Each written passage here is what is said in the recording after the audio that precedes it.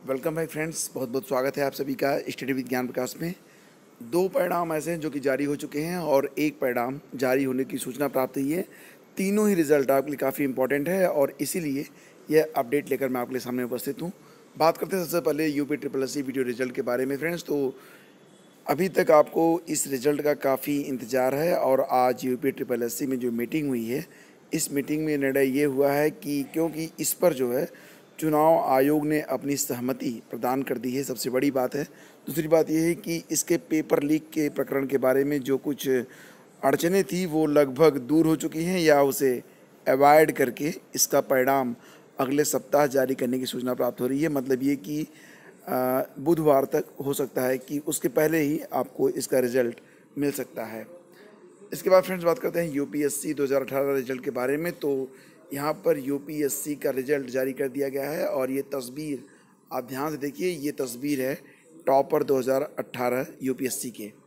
Friends, आपको बता दें यहाँ पर कि आईआईटी बॉम्बे से बीटेक पास राजस्थान के रहने वाले कनिष्क कटारिया ने सिविल सेवा परीक्षा 2018 में शीर्ष स्थान हासिल किया है। संघ लोक सेवा आयोग ने शुक्रवार को परीक्षा परिणाम घोषित कर दिया है। और फ्रेंड्स, आपको ये भी बता दें कि इस परिणाम के आधार पर I S I F S I P S और अन्य केंद्रीय सेवाओं ग्रुप ए और ग्रुप बी के लिए चयन होता है। महिलाओं में भोपाल की सृष्टि जैन देशमुख ने पहला स्थान हासिल किया है। हालाँकि संपूर्ण सूची में उनका जो स्थान है, वो पाँचवा है। तो फ्रेंड्स, यहाँ पर हम आपको बता दें कि जो टॉप टेन लोग हैं, उनकी लिस्ट में आपको दिखा देता हूँ। ये हैं टॉप टॉप टेन में कनिष्क कटारिया पहले स्थान पर हैं, दूसरे स्थान पर हैं अक्षत जैन। अक्षत जैन भी राजस्थान के ही हैं। तीसरे स्थान पर हैं उत्तर प्रदेश के जुनैद अहमद। उसके बाद हैं श्रेयांश कुमत और पाँचवें स्थान पर महिलाओं में प्रथम स्थान प्राप्त और ऑल ओवर पाँचवें स्थान पर सृष्टि जैन देशमुख, जो कि भोपाल रहने वाली हैं। छठे स्थान पर शुभम गुप्ता, सातवें पर करनती वन रेड्डी, आठवें पर वैशाली सिंह, नौ पर गुंजन द्विवेदी और दस पर हैं तनमन वशिष्ठ शर्मा। फ्रेंड्स, अगर आपके सपने बुलंद हैं और अगर आप हौसला रखें तो आप भी एक दिन यूपीएससी में टॉप कर सकते हैं, क्योंकि जितने भी लोग इस सूची में शामिल हैं ऑल ओवर सब इंसान ही हैं। तो फ्रेंड्स अब आइए बात करते हैं एल टी ग्रेड रिज़ल्ट के बारे में। तो ये दूसरा चरण है और इस चरण में दो रिज़ल्ट जारी किए गए हैं। पहला रिज़ल्ट जो है वो गृह विज्ञान विषय के पुरुष शाखा में कुल तेईस अभ्यर्थियों ने परीक्षा दी थी और अफसोस की बात यह है कि तेईस अभ्यर्थी परीक्षा में शामिल होते हैं।